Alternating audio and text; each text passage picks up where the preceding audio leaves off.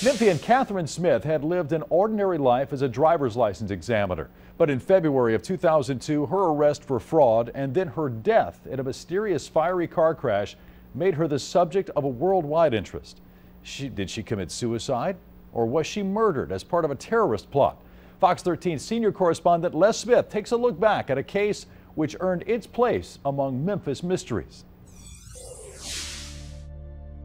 It is in its written words where the desperate and disgraced often turn in search of mercy, redemption, and peace. And on the final journey of her life, Memphian Katherine Smith could not have found a better companion to travel with as her world was about to crumble around her.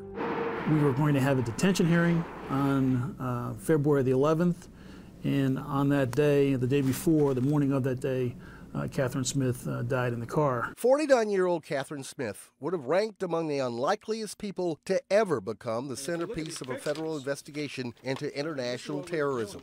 By all accounts, she was quiet, spiritual, and family devoted. The kind of ordinary existence which made her arrest in February of 2002 even more mystifying. Smith, who had worked for nine years as a driver's license examiner, was swooped up at her place of business in an FBI raid along with five men of Arab descent. She was charged with selling fake driver's licenses to them for $1,000 apiece. But with America still reeling from the 9 11 terrorist attacks just months before, what might have been viewed as a simple case of greed soon ballooned into an international incident that produced worldwide headlines. Strangely, after the arrests, Smith was released on her own recognizance. The five men, including Memphis store owner Khalid Adtala, believed to be the ringleader of the phony license operation, were taken into custody as investigators searched for a link between the men and any possible connections to the 9 11 attacks. But was all this motivated by fact or frenzy? Because of the world events and the uh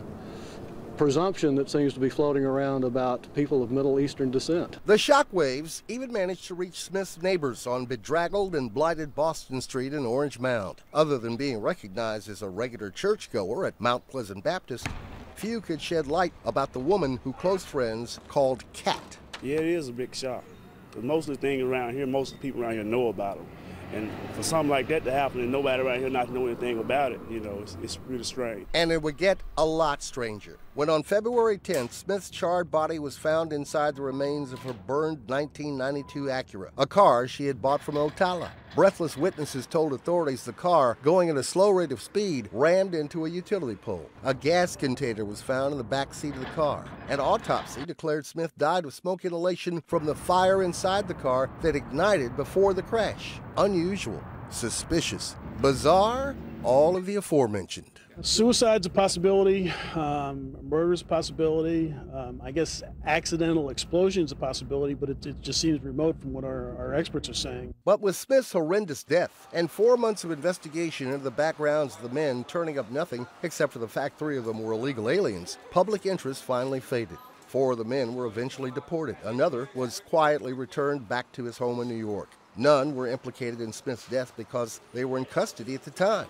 Speculation then led to the only conclusion possible, aided by the release of a note Smith left her children days after her arrest. In some circumstances, it can be viewed as a, as a suicide uh, note. And she does not come out and say that she's going to commit suicide, but she's apologizing. Perhaps the final testament to Smith's sense of resignation was made clear by the discovery of her Bible in the burned out car. Encircled was this passage The Father loves me because I lay down my life in order to take it up again. For Memphis Mysteries, Les Smith, Fox 13 News.